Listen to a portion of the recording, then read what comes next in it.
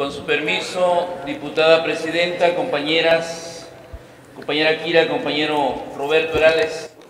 miembros de la mesa directiva, compañeros diputados y diputadas de esta decimosexta legislatura, a todos aquellos que nos ven en las redes sociales. El día de hoy se cumplen 529 años de que llegara a este continente Cristóbal Colón, un navegante genovés que servía a la corona española, al rey Fernando y a la reina Isabel. Afortunadamente, desde hace ya eh, dos años se le cambió el, el título de Día de la Raza para convertirse en el Día de la Multiculturalidad. Y nosotros creemos que en justicia esta presencia del imperio español pues no puede celebrarse, ¿verdad?, como el encuentro, como se dice, de dos culturas, sino más bien es el avasallamiento, la conquista y la destrucción de una extraordinaria cultura que se vivía ya en nuestra Mesoamérica y en nuestra Indoamérica.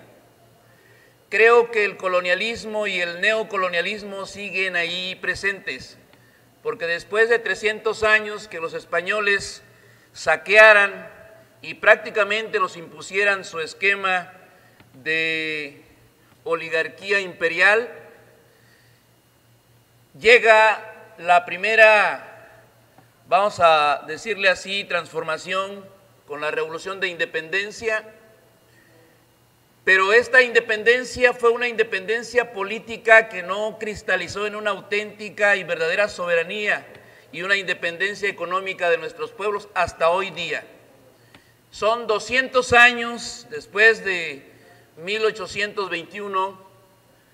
este, a mil,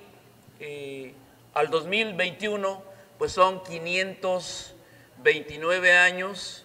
en donde 300 bajo la égida española y 200 bajo la égida de la oligarquía imperial norteamericana. Creo que la deuda histórica que se tiene por parte de los imperialismos, en este caso el español, el portugués, que también se apropió de una parte de nuestro continente con Brasil, fundamentalmente, eh, hay, no basta con pedir perdón, no basta. Hay una deuda histórica que yo creo que estas oligarquías imperiales jamás van a poder eh, reconocer y pagar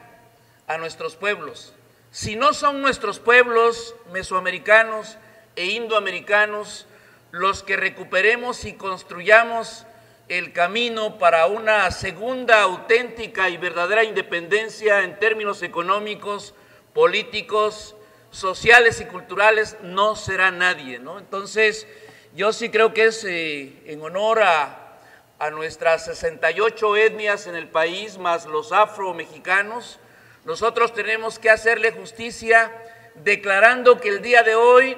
debe de señalarse como el día de la resistencia indígena, negra y popular, porque nuestros pueblos siguen resistiendo, siguen reclamando sus derechos y siguen, a nuestro juicio, con la esperanza de que algún día verdaderamente ellos, ¿verdad?, sean los que gobiernen esta patria latinoamericana y caribeña. Entonces quise subir al podio para hacer un reconocimiento a la lucha que libran todos los pueblos originarios de nuestro continente y de manera particular de nuestra América Latina y el Caribe. Muchas gracias compañeros y con el pueblo hasta la victoria.